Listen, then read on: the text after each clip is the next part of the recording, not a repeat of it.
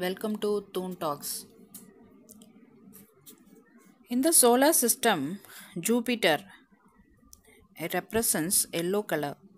So brass diya mimics the yellow metal that is gold and exudes positivity.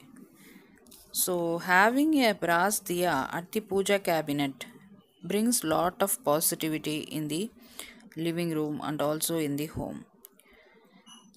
If we take the brass diya, actually we have different sizes, shapes and prints over on it.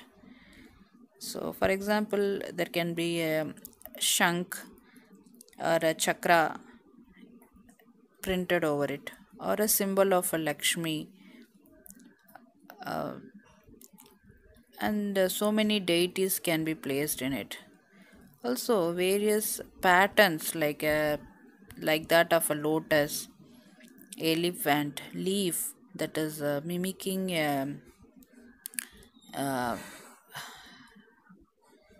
peepal tree leaf.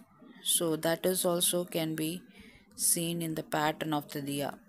So it is the interest of a interest of a people who take it and uh, every day having the brass oil diya at home definitely brings positivity in the place around you.